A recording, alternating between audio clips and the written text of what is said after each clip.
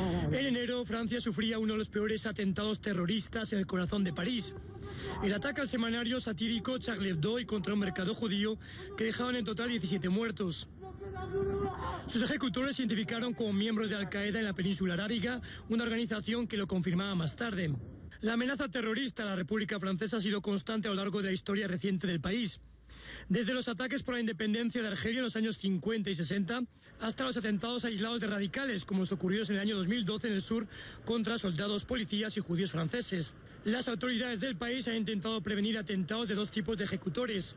Aquellos cometidos por individuos que actúan en solitario o en coordinación con socios, pero que no siguen órdenes directas de organizaciones terroristas y aquellos que pueden cometer estas organizaciones internacionales como Al-Qaeda y sus afiliadas un autoproclamado Estado Islámico.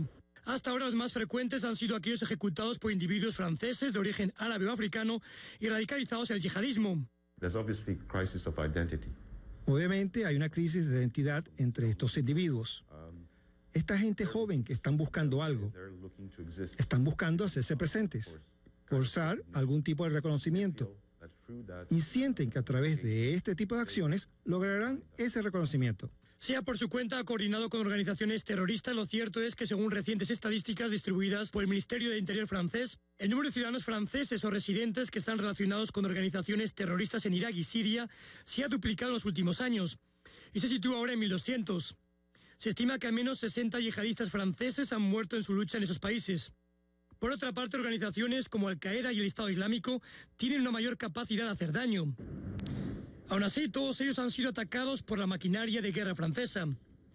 Desde 2013, Francia combate en Mali a rebeldes islamistas ligados con Al-Qaeda.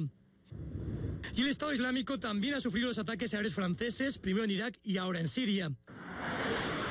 Y recientemente François Hollande ha enviado su mejor portaaviones, el Charles de Gaulle, a las costas cercanas a Siria, como ya lo hizo tras los atentados del semanario Charles Hebdo, para combatir a los yihadistas. Miguel Ángel Antoñanzas, CNN, Atlanta.